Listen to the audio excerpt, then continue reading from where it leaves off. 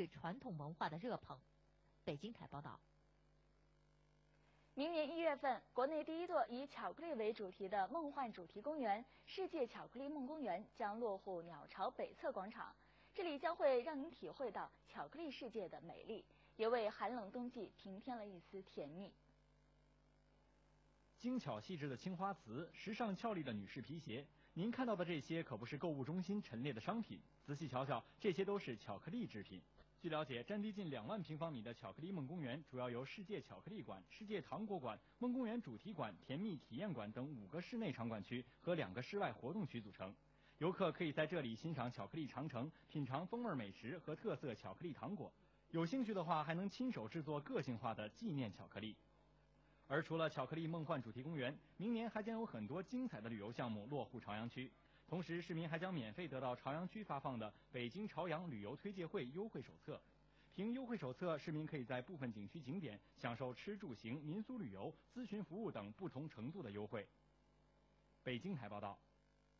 由中国侨联、中国建筑学会等部门评选的第二届全球华人青年建筑师奖近日揭晓，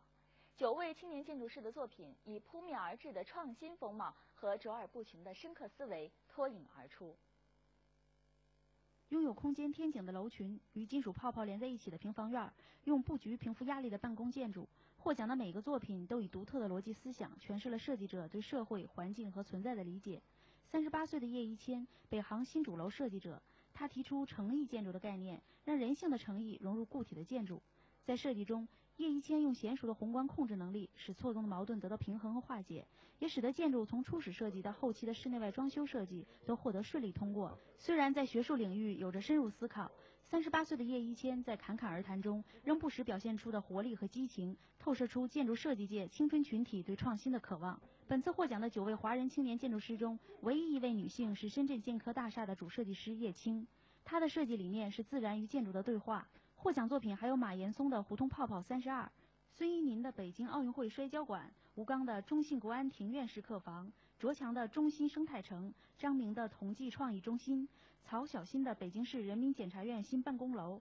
席斌的海淀社区中心。九组建筑中有六组建筑修建于北京，它们令人文、绿色和创新的气息穿行在北京城古老的建筑空间里。据悉，本次评选共收到来自大陆、香港、美国等国家和地区四十六位华人青年建筑师的一百零六项作品。获奖作品将于十一月二十日前在北京规划展览馆向公众展出。北京台报道。由党建读物出版社出版发行的《六十年我的北京》日前举行首发式。《六十年我的北京》由近百名北京资深作家、摄影家参与编纂。采用图文并茂的形式，从不同角度揭示普通北京人六十年来生活及心灵的变化。感谢收看，明早八点三十分再见。